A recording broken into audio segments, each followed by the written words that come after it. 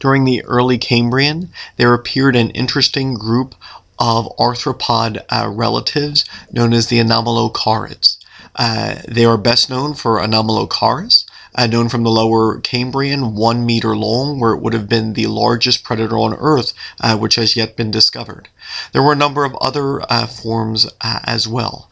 Uh, some possess some mineralized uh, armor, and they are known for their large, compound, complex eyes and the feeding appendages resembling arms.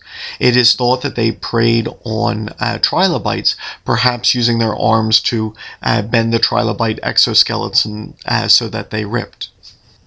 One anomalocarid is known to have survived into the lower Devonian.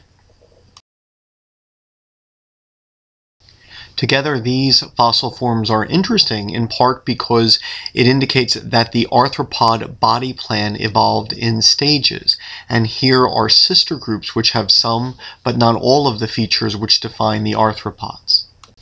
Opabinia is another animal which was not an arthropod but probably closely related.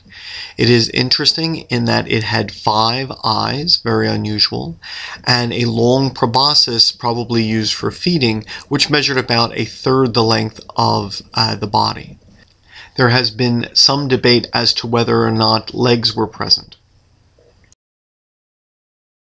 Kerygmachela seems to be an anomalocarid uh, because of the similarities of the lobes on its body, uh, the uh, feeding proboscis, uh, etc.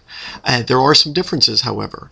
It possessed a, a pair of long antennae-like structures, perhaps homologous to the antennae of uh, crustaceans.